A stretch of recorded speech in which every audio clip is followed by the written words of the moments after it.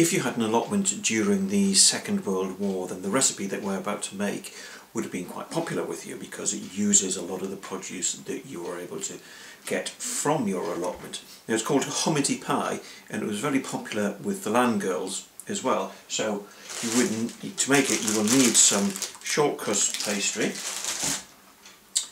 one apple from the tree in our allotment and some of our allotment grown potatoes, uh, leeks, a little bit of thyme from our herb garden and trust me they are garlic again from our allotment.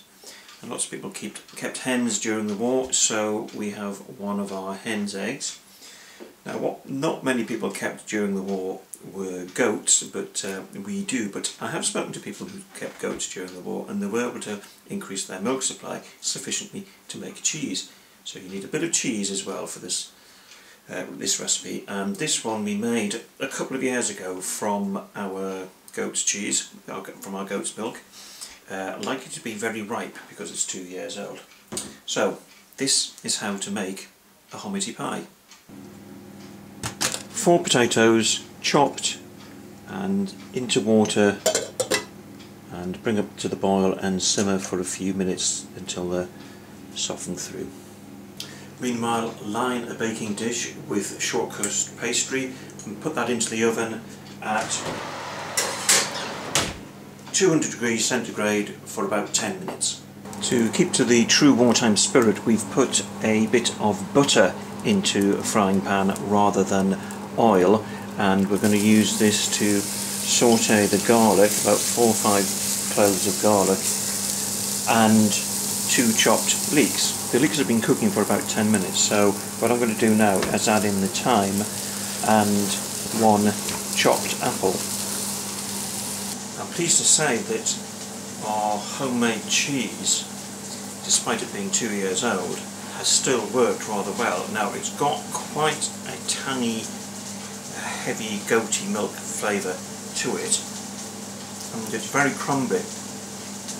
So it's certainly going to add quite a bit of taste to the pie but nevertheless we've put in about 100 to 120 grams there and that's going to go into a bowl along with a whisked egg.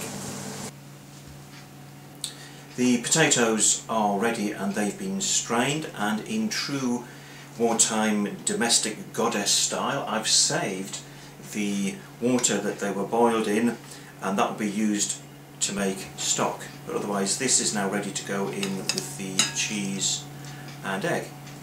The leeks and apple are ready as well so they too can go into the mixing bowl. I will also add a bit of salt and pepper.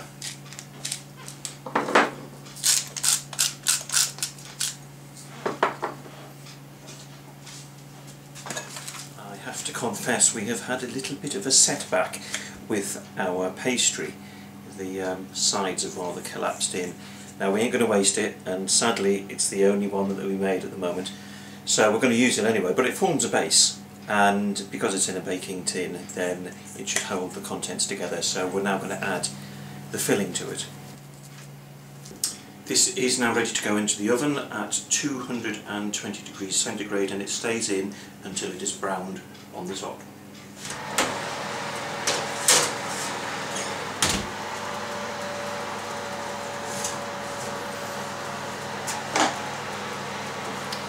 Well, it's had about half an hour now and it's nicely browned so I think this is ready. We left the pie to cool down for a couple of hours so here goes.